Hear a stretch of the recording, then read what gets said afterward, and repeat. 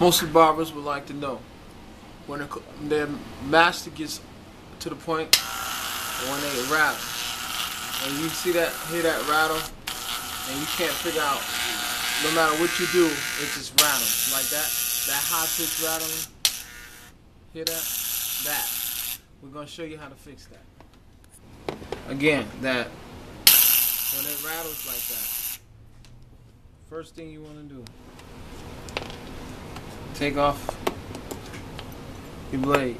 The reason why it's rattling is because this cutter blade actually sits here.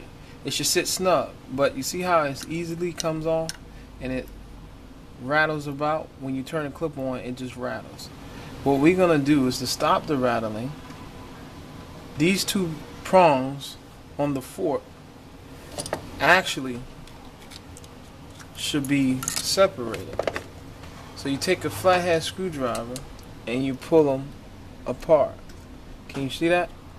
You pull them apart.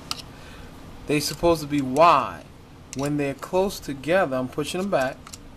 When they're close together like that, they don't sit snug on these two prongs. So therefore they rock. What you want to do is you want to take a flathead screwdriver, get in between there, pull it all back this way, pull this one that way.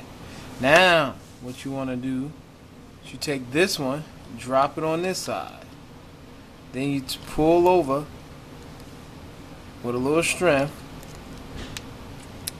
Or you take it and go on this side and drop pop it on. Now look.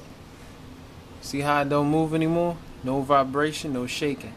And you see how hard it was for me to take it off? That's how you want it. You want to put it on and it should be stiff. Now, you take that blade, you put the blade back on, put the screws in. Now watch the difference in the sound.